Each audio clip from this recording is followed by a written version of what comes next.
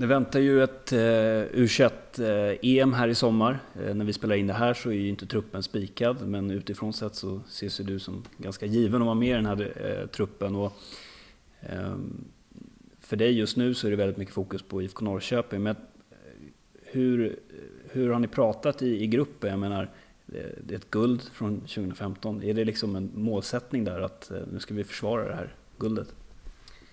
Nej, men det, det blev lite speciellt också med...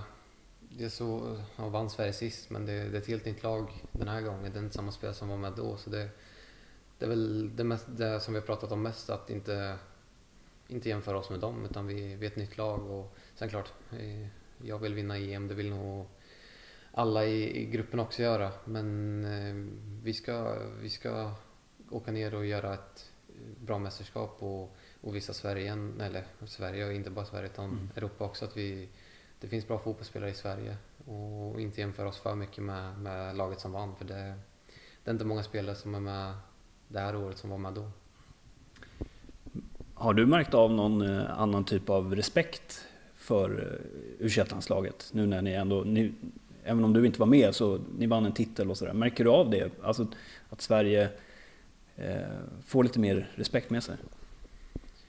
Jo, lite så känner man väl kanske i, i kvalet här också. Sen har det väl det här med prestationerna vi gjorde mot Spanien-Kroatien i första matchen. Att, eh, det var väl två länder som, som trodde att de ska vara bättre än oss och, och var väl inte beredda på att vi var så bra heller. Så de, de anpassade sig lite grann men sen det roligaste tror jag nog är egentligen här hemma i, i Sverige att u fotboll har fått, fått ett har större ansikte och är mer uppskattat hemma i tv-sofforna och man får mycket, mycket positivt från folk som kollar våra matcher och det är alltid mycket folk på våra hemmamatcher också så det, det mesta tror jag kommer hemifrån från av de svenska supportrarna som stöttar oss varje match och det, det där har växt mest tror jag. Ja, och eh, vi pratade lite inför här om att det, det, det, verkar som att det kommer ner väldigt många svenskar, flera tusen, till ett U21-EM på, på bortaplan. Det måste ju också vara ganska kittlande att få, få med sig det stödet. Ja, det, det är grymt. Eh, vi hade samling i mars här eh, inför EM där vi såg bilder ifrån förra slutspelet med alla svenska supportrar som var nere. Och det, det, går väl inte att jämföra med hur det kommer vara i sommar för det kommer vara ja, tio gånger så många svenskar i, i sommar och det är ja, fantastiskt. Det, det är det man vill göra, vill göra när man spelar fotboll. Det är att spela inför mycket supportrar och sådana som stöttar en och laget man spelar i. Och det, det är grymt.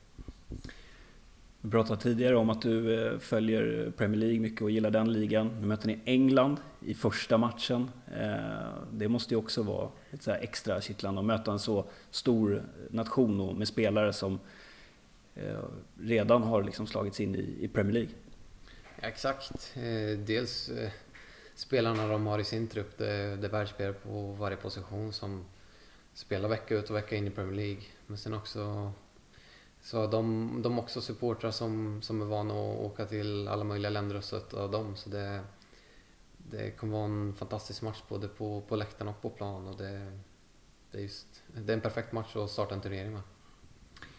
Hur, om vi ser till, till truppen och, och sådär. Det är klart att med, med ett landslag och, och speciellt med u som är, som är åldersbaserat att det, det förändras en del. Men, men, hur skulle du säga, hur skulle du beskriva stämningen i, i truppen? Är ni en, en tight grupp eller hur, hur är det?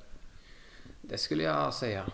Ehm, det kän, känslan är att under det här kvalet som har varit att eh, man, man vågar vara sig själv i vår grupp och alla, alla kan hänga med alla. Det, det är inte så lätt som du säger, det byts in och ut med mycket spelare och ändå har vi behållit den känslan att man, man kan vara sig själv och det, det är nära ett skratt hos, hos alla och ja, många sköna individer så det, det är en jättebra grupp. Vilka spelare hänger du extra mycket med under landslagssamlingen? Eh, ja, vi har väl blivit ett kortgäng. Mm. Eh, Kaffe Olsson, eh, Une Larsson, Dagerstål, Melke Hallberg, Adam Lundqvist, vad har vi mer?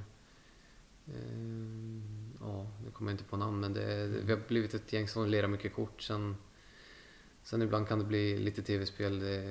Mojo och de här, de gillar att spela mycket tv-spel och, och, andra kortspel. Så det, man, man hoppar lite emellan. Vad spelar ni för kort då? Gurka har det blivit. Jaha, vad är det? Eh, ja, man ska gå ut på så lågt kort som möjligt. Ja, okej. Det är det viktigaste. Ja, okej. Hur bra är du? Fantastisk. Är- ja, topp i alla fall skulle jag säga. Där, I den gruppen. Om jag frågar någon annan, kommer de säga samma sak? då? Ja, det tror jag. Frågar du Koffe Olsson så kommer du få tvärt emot tror jag. Ja, okej. Vem är sämst då? Koffe. Ja, det är så. Ja. Riktigt dålig. Om vi går in på, det kan bli intressant att följa upp det där. Eh, om vi går in på just eh, karaktärerna i, i, i laget då. Vem, eh, vem skulle du beskriva som kanske den roligaste i landslaget? Lite av kanske clownen? Eh, Moberg Karlsson är väl högt upp där. Det, så har man ju fått, fått hans eh, röst i vårt omklädningsrum i Norrköping också nu. Så det, han går inte att få tyst på och skrattar mycket och skämtar mycket. Sen Karim är väl också en sån som gillar att, ha skratt runt sig. Så det, jag skulle säga de två. Vem är den smartaste eh, killen i laget? Och då tänker jag mer liksom utanför plan. Sådär. Ja, skulle vilja se mig själv men... Ja. Eh, Unne Larsson tror jag. Ja. Han, han har huvudet på skaft. Eh, smart kille. Mm. Eh, snällaste killen? Ja, också jättesvårt. Eh, Filip Dagerstål. Mm. Eh, det finns inget ont i han överhuvudtaget. Det, han kan knappt döda en fluga skulle jag säga. Det är otro, otroligt snäll. Vem har hetast, hetast temperament? Eh, Mojo ligger nog där. Ja, det kan jag tänka mig. Ja, jag säger nog Mojo. Ja. Eh, vem är tydlig, tydlig ledare? Då tänker jag också både på och utanför plan. Nej, men Koffe, Koffe är ju kapten både, både på och utanför plan tycker jag. Sen Mojo också. Mojo tar mycket ansvar. Eh, både på och utanför plan med. Eh, jätteduktig på det. Jag hoppas att jag själv är någon sorts ledare med. Men det, det finns många som, många som vill ta en ledarroll och, och hjälpa laget på ett bra sätt. Både, både på och utanför plan men främst plan också. Det är många vinnarskallar och det Eh, Jag skulle säga Mojo, Mojo Koffe ligger högt upp.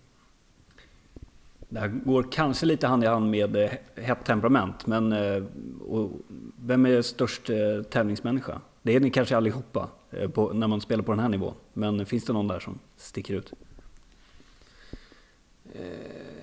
Ja, ja, jag tror jag måste säga Mojo där också. Eh, Carlos också, Carlos Strandberg också. Eh, svårt att förlora och vill alltid vinna. Men det, jag tror Mojo. Mm. Avslutningsvis bara, vi, vi pratar här om eh, att eh, kanske försvara ett guld. Eh, om du ser det framför dig att, att eh, vinna EM igen här då, då, första gången för din del och komma hem och få fira med, med svenska folket. Vad tänker du kring, kring ett sånt scenario och vinna en final? Nej, det är det alla fotbollsspelare drömmer om, att, vinna mästerskap. Och man såg förra EM här när, när folket mötte upp i Kungsträdgården i Stockholm. Hur, hur många som var där och, och, och brydde sig. Och det, det är det man vill uppnå. Så det, jag tror inte det går att beskriva hur, hur grymt det skulle vara. Jag vet bara hur, hur det var att vinna guld med Norrköping i Allsvenskan. Det, det går inte att beskriva. Och göra det med hela svenska folket i ryggen tror jag kan vara snäppet grymmare. Så det är svårt att beskriva tror jag.